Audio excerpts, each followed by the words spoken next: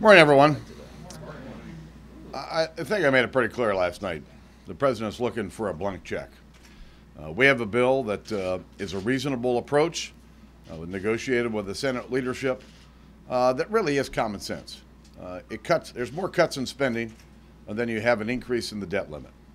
Uh, it has real caps and a real process for cutting spending before the end of this year, and it provides for I think the best effort to get a balanced budget amendment enacted into the Constitution. It's reasonable. It's responsible.